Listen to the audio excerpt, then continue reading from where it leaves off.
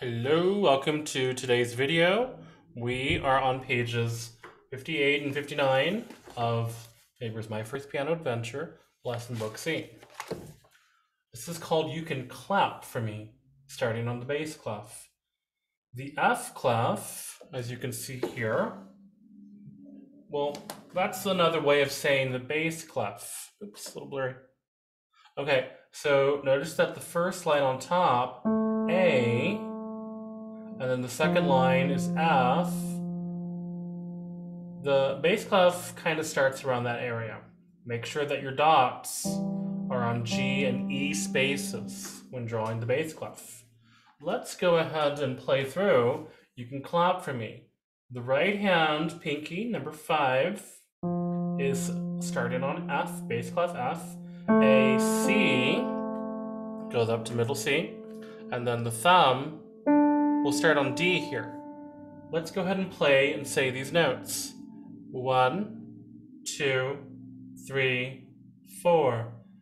Uh, F, A, C, D, F, two, F, D, F, two, D accent, F, tie, two, three, four. Next page.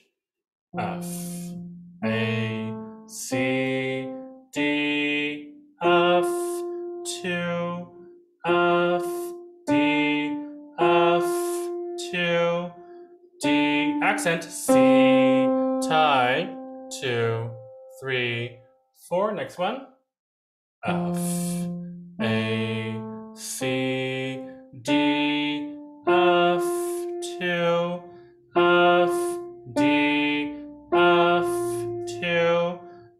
accent, F, tie, two, three, four. Next system. F, A, C, D, F, two, F, moving up, G, A, two, G, accent, F, tie, two, three, four, release. And of course, all of that will be repeated. So make sure that you have those accents in your music. Now let's go ahead and play along with the track. One, two, three, Ooh, fast.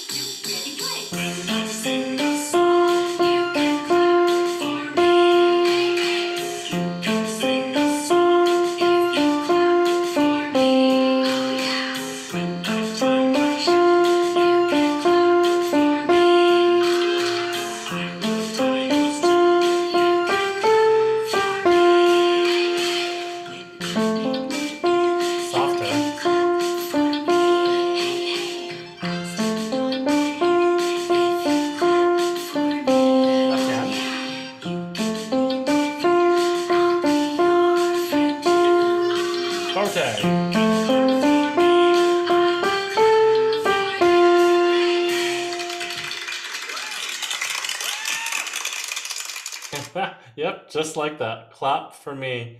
And I will definitely be clapping for you when you practice and perform this for me at your lesson perfectly. Okay, we'll see you next time. Bye bye.